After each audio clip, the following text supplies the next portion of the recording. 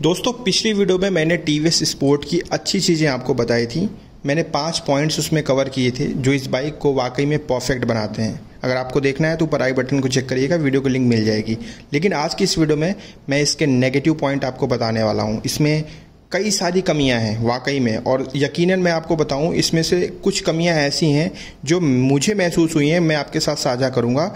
और ज़्यादातर कमियाँ जो हैं, वो आपने ही बताई हैं। मतलब यूज़र रिपोर्ट जो आई है, उसके अकॉर्डिंग मैं आपसे शेयर करूँगा। आपका एक्सपीरियंस बेहतर होगा।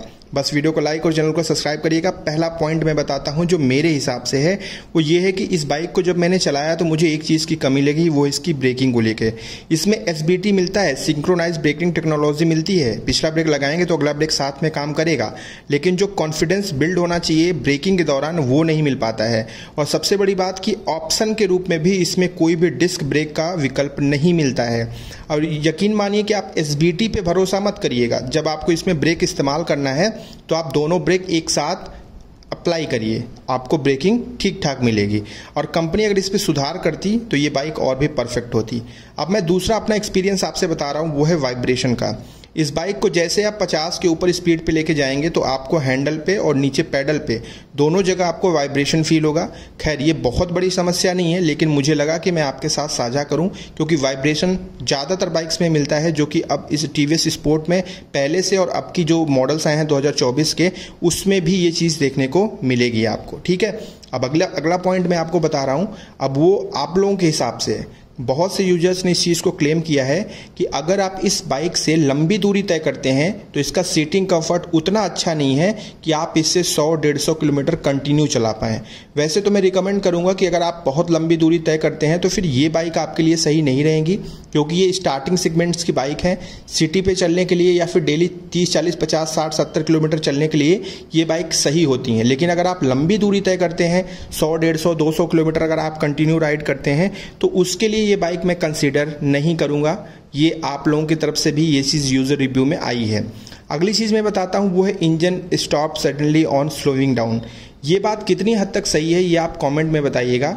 बहुत से यूज़र्स हैं जिनके पास टी स्पोर्ट है, उन्होंने इस चीज़ को बोला है कि अगर वो अचानक से बाइक को स्लो करते हैं, भले ही वो क्लच दबाए रहे हैं लेकिन अचानक से बाइक को स्लो करते हैं तो इंजन बंद हो जाता है। और फिर उनको जो है क्लच दबा के जो है सेल्फ का इस्तेमाल करके इंजन को रीस्टार्ट करना पड़ता है। ये बात कितनी हद तक सही है ये आप लोग बताइएगा, क्योंकि ये चीज़ मेरे साथ तो नहीं हुई है, लेकिन ज़्यादातर लोगों ने इस चीज़ को क्लेम किया है कि ऐसी प्रॉब्लम इसमें है। बताइएगा। अगला पॉइंट मैं आपको बताता हूँ, वो है माइलेज को लेके। अब देखिए कंपनी जो है क्लेम करती है कि भैया इसमें बहुत तगड़ा माइलेज आपको मिलता है। लेकिन हकीकत ये है ना कि इसमें जो हाईवे पे जब आप चलाएँगे ना तो ये पैंसठ से लेके सत्तर का माइलेज आपको देगी। कोई डाउट नहीं है। लेकिन जब आप सिटी में इसे चलाएँगे ना तो ये पचपन साठ पचपन साठ, ये माइलेज इसका रहता है। अब ये मेरा पर्सनल ओपिनियन भी है प्लस आप लोगों ने भी बहुत सारे यूज़र रिव्यू में इस चीज़ को बोला है। अब ये बात भी कितनी हद तक सही है? अगर आपके पास स्पोर्ट है तो आप बताइएगा कि आप कितना माइलेज इसमें से निकाल लेते हैं। अगर आप कमेंट करेंगे तो लोग कमेंट में आकर आपके कमेंट पढ़ेंगे और उन्हें जो है बहुत हेल्प मिलेगी कि भाई, वाकई में इसका माइलेज कितना आ रहा है। मेरे हिसाब से जो मैंने बताया, वो माइलेज इसमें मिलता है। इससे हैवी माइलेज का मतलब ये है कि फिर आप इको स्पीड में चलाइए, चालीस के ऊपर आपकी स्पीड जानी ही नहीं चाहिए, तब आप बेहतरीन माइलेज निकाल पाएँगे, ठीक है?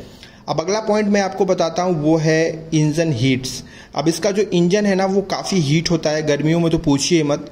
तो इंजन हीटिंग की प्रॉब्लम तो आती है और वो चीज़ तो हीरो की स्प्लेंडर प्लस में भी आती है। तो ये भी आप लोगों की तरफ़ से ही रिपोर्ट करी गई है, आप लोगों ने बताया है कि भाई इंजन इसका बहुत हीट होता है। तो ठीक है, मैं इसको बहुत बड़ा पॉइंट नहीं मानूँगा इसलिए क्योंकि इस ज़्यादातर बाइक्स के इंजन हीट होते हैं। तो ये चीज़ इसमें भी लागू है। अब ये सारे पॉइंट्स हो गए। अब मैं आपको बताता हूँ एक और पॉइंट जो मैंने फील किया है, वो ये है कि इसमें जो पावर मिलती है ना इंजन में, वो सिंगल अकेले चलने के लिए बहुत अच्छी पावर है। कहीं से कोई दिक्कत, परेशानी नहीं है। लेकिन अगर आप दो लोगों के साथ चलते हैं और कभी अगर इमरजेंसी पड़ गई, तीन लोग हो गए उसमें तो इसमें पावर लैक आपको फील होगा। आपको लगेगा कि यार पावर और होता है इस बाइक में ना तो मज़ा आता। अब जैसे मान लीजिए पहाड़ी जगहों पे आप रहते हैं और दो लोगों के साथ चल रहे हैं तो फिर आपको तो थोड़ी बहुत स्ट्रगल करनी पड़ेगी। मतलब एक्सलेटर का इस्तेमाल ज़्यादा करना पड़ेगा। फिर आपके माइलेज पे भी बहुत गहरा असर पड़ेगा तो इस चीज़ को ध्यान रखिएगा।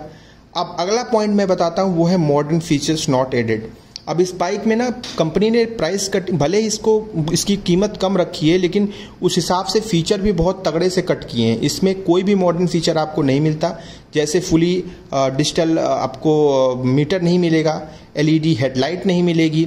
और मतलब ब्लूटूथ कनेक्टिविटी वगैरह, ये सारी चीज़ें आपको इसमें नहीं मिलेंगी। तो आप इस चीज़ का ध्यान रखें कि इसमें मॉडर्न फीचर आपको नहीं आते। प्राइस कटिंग की मैं बात कर ही रहा हूँ तो ट्यूबलेस टायर पे भी कंपनी ने जो है प्राइस कटिंग करी है। ट्यूब वाला टायर इसमें प्रोवाइड करते हैं टॉप मॉडल पे जाएँगे तो हो सकता है ट्यूबलेस टायर इसमें मिल जाए आपको। इस चीज़ के लिए मैं श्योर नहीं हूँ, लेकिन प्राइस कटिंग इस बाइक में कई जगह देखने को मिलती है। और अगली चीज़ जो मैंने फील की है, वो फिट एंड फिनिश जो इसकी बिल्ड क्वालिटी है अच्छी है बट मैं ये चाहता हूँ कि ये डेली कम्यूट बाइक है ना तो इसकी बिल्ड क्वालिटी और भी बेहतर की जा सकती है। तो ये पॉइंट्स हैं नेगेटिव जो कि टी वी स्पोर्ट में जो मेरे कुछ पॉइंट्स थे और कुछ पॉइंट्स आप लोगों के थे, जो कि यूज़र रिव्यू से निकल कर बाहर आए हैं, आप ही को रिपोर्ट्स बताती है। तो अब आप बताइएगा कमेंट में कि जितने भी पॉइंट्स मैंने बताए, उसमें से कितने सही हैं और कितने गलत हैं। साथ ही साथ, अगर कंसीडर कर रहे हैं इस बाइक को लेने की तो आप ले सकते हैं, कोई दिक्कत की बात नहीं है। बस एक बार टेस्ट राइड ज़रूर ले लीजिएगा, ताकि आप सारी चीज़ें खुद से चेक कर पाएँ। और टेस्ट राइड का कोई भी पैसा नहीं लगता है। आप इस चीज़ का ध्यान रखें और अपना ख्याल रखें। कोई डाउट हो तो कॉमेंट में हमसे पूछ लें।